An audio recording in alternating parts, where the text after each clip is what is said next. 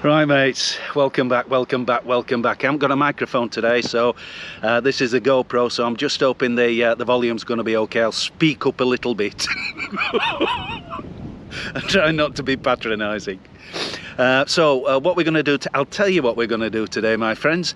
Um, I was down at Dock End uh, filming a video uh, a little while ago and one of the taxi drivers came over and said that I'd been watching the videos absolutely love the content etc which was really nice of him I appreciate it. I always like to meet my subscribers and he says I'll tell you what where you should film because no, none of the hardly any of let's put it that way hardly any of our visitors to the town actually go on the railway uh, track walk and have a look at Larpool Viaduct so that's what I'm going to do. Although I'm not going on the railway track because I'm right under the viaduct and it's not great for filming. What I'm going to do is I'm going to walk on the cinder track and then I'm go, going to go down into uh, the Captain Cook's Haven and we'll get a beautiful look at the uh, at the Larpool Viaduct. It's a majestic piece of engineering. I'm going to try and get my drone up. It's a little bit windy but we'll see whether we can get it done. In between times I'll get on the uh, the cinder track and then I'll stop get the camera going and show you where to turn off on the cinder track. So if you want to go down, you want to have a look at Larpool Viaduct, you want to get under the, the, the thing and have a proper good gander at it. then you'll know where to go. So thanks for watching, thanks for tuning in. Let's hope we can get the drone up and I'll see you in a minute. Right mates, here we are, we're on the cinder track. I've got my neck mount on. Hope it's not wobbling. Mind you, it shouldn't be wobbling at all, should it? It's got stabilisation on it, this thing. So this isn't far on the cinder track. It's a lovely walk. It's the route onto Robin Hood's Bay. It's about seven miles. So if you feel like you've got your walking head on, uh, you can come along here, walk right into Robin Hood's Bay. It's the old railway line, railway track. There's no track or lines on here anymore. Used to go right through to uh, Scarborough, but it's a beautiful walk. Views to die for. Can I try and show you? I'll get a bit further on. So I'm going to walk on here and then I'm going to show you the way down to Captain Cook's Haven and uh, we're going to have a look at the Larpool Viaduct. I cycle on here quite a, quite a lot, but I, to be honest with you, I walk on a bit further. I go further, cut through the fields, then I go up to the supermarket, Sainsbury's or little little little Aldi, whatever it is. I always get told off for forgetting which one it is. to replenish my stocks of, uh, yeah, you know what. And uh, yeah, and then it's a nice walk back into town. Lovely. It's a little bit windy today, as I said to you earlier. I'm not quite sure whether I'm going to be able to get me uh, get me drone up, but we'll have a go. How's that? Can you see it? It's a right view, isn't it?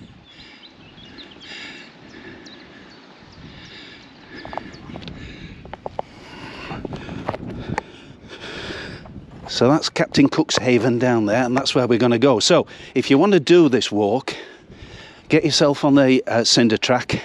You can access it near the bottom of Pannett Park, near where Beaver's furniture shop is. You can go up some steep steps, or you can walk under the little tunnel, and there's a nice gentle slope up onto the cinder track there. Absolutely lovely. What's this saying? Can we get that? This is Larpool Viaduct Bridge, number six to remember in Sydney Smith, who loved his bike. How nice. So we'll uh, we'll keep going on here.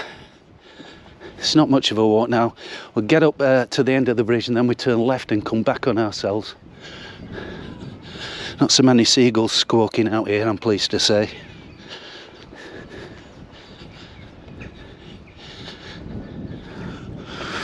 I think this camera needs tilting down a bit. Is that any better? Honestly, I'm all over the shop.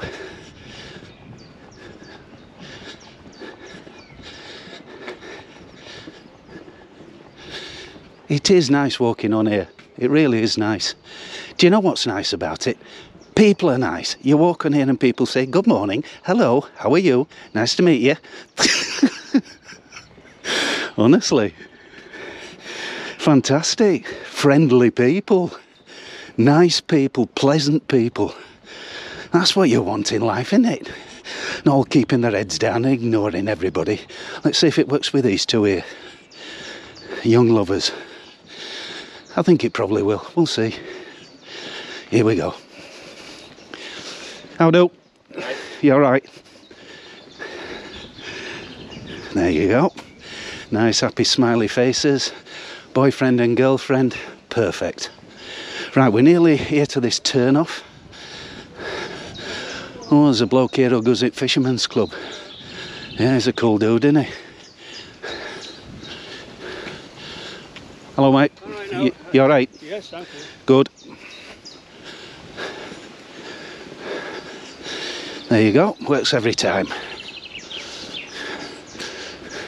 Do. Right, so you veer off to the left as you go over the bridge.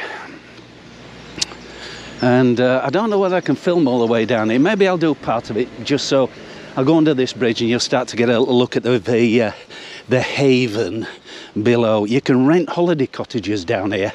It's in a lovely spot to be honest with you. It really is pretty. And I think they've got a swimming pool here. The only trouble is it's a little bit out of town.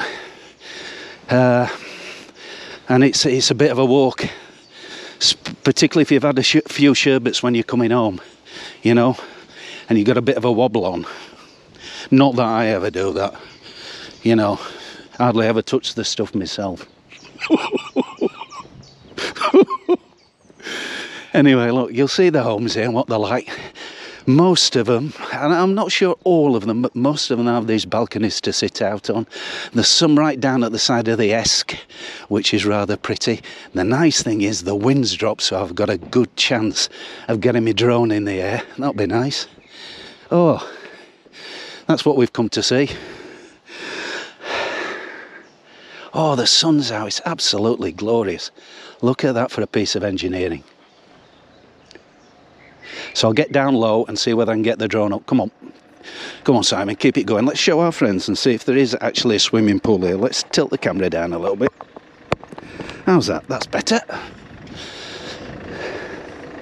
You see, if you're going into town from here, you've got to take your car. You're going to have to find parking when you get into town, and that's nigh on impossible. If you're having a bite to eat and a couple of drinks, you're not going to want to bring the car home. That would be the wrong thing to do. So you're going to have to leave your car in Whitby overnight, and then you're back on the meter first thing in the morning. If you haven't got a ticket, you'll get a ticket. Oh, this is swimming pool here. I've been down here a few times and never seen anybody in it, but there you go. Yeah, back to where we were. Um, and then you've got to think about how you're going to get back into town the next morning. You'll get a taxi home, that ain't going to be cheap. Then you've got to get probably a taxi back into town the next morning. Oh man, absolute nightmare, isn't it? Anyway, I think we've seen enough for now. You're getting the idea of it. I'll switch off for now. We'll get a bit further down and uh, I'll try and get the drone up and Oh, get, look, I'll tell you what, Simon, shut up a minute. Let's just let our viewers see what's going on. Stop rushing them. Take it easy. You're always in a rush. Let's just have a walk, enjoy the view. Show your visitors what all this is about. Your viewers, not your visitors, your cabbage. Honestly, I keep saying if I had a brain, I'd be lethal. Honestly, I could be a supervillain. anyway, I'm talking rubbish again. Come on, a, just get a bit further down, and then we'll just show them another another view of the viaduct over the red roofs. You see, that's, that was a nice thing that they did when they built this. At least they, they kept the tradition of red roofs and all of that sort of malarkey. How's that, mates? Even if I can't get my drone up, it's been worth coming down, hasn't it? Just have a look at that. Come on, come on, straight out. I think this one here, Glendine, is a private house. In fact, I don't think it is a private house. It's got some beautiful gardens fronting onto the Esk. That's a nice property over there, isn't it? On the other side of the uh, the railway track. Right, mates, it's just getting a little bit windier down here, but I'm going to have a go. I'm going to have a go for uh, for you guys. How about here? Are we all right here? and get a look, good look at the viaduct here. So, uh, oh look, the but I think that's for a barbecue, but it hasn't been used, has it? Right, there we go. So I'll see whether I can get my drone up and give you a quick look of it. But either way, I hope you've enjoyed the video. Thanks for watching. And if there's some drone footage after this, well, we're done all right, aren't we? Right, we got the drone up. won't be up for long because the wind's blowing it about all over the place. Anyway, this is a Larpool Viaduct. It was constructed to carry the Scarborough to Whitby uh, trains. It's single track rail line. It's a 13 arch structure and construction began in 1882 and it was completed in 1884. Not bad, eh? Um, mm, did I tell you that two men actually fell from it during uh, while it was being built? Both survived. Lucky lads. yeah, and uh, there's no metal in the structure at all because they thought the salt air might actually corrode the metal. So the structure is all brick and cement. So that's it, mates. Larpool Viaduct. Uh, as I say, I'm going to get the drone down in a minute. It's wobbling all over the place.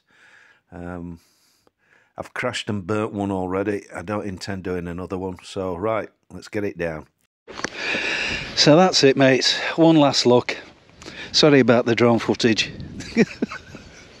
it's so windy and we're panicking how we're going to crash it. you know I've got history of that, don't you? We'll have a walk down here and I'll just see whether I can show you another angle of the, uh, the bridge. I hope you're getting it. It's, it's lovely down here, isn't it? But would I want to stay here? No, I wouldn't. Not if I'm coming to Whitby. Now, if you want to get away from it all, you want to turn your phone off, you, all of that business, you just want to chill out, have a glass of wine or two, and uh, enjoy oneself, then I'd say it's a great place to come. If you wanted to get into Whitby and, uh, you know, wine, dine, and all the rest of it, then maybe this isn't the best place for you. Anyway, my friends, there's the last look at the Larpool Viaduct. If that isn't a magnificent piece of engineering, there's no metal in this at all, no metal in it, because they thought by the seaside the salt air would start to corrode it. So it's all built out of bricks and cement. That's it, bricks and cement. How on earth they got that built and the brick is... They must have been here for 50 years. I don't know. Anyway, that's it, mates. Hope you've enjoyed it. Hey, thanks for watching. If you like, give us a subscribe, a share, any of that business. That would be absolutely fan-dabby-dozy. Thanks a lot, and I'll see you soon. Chin chin.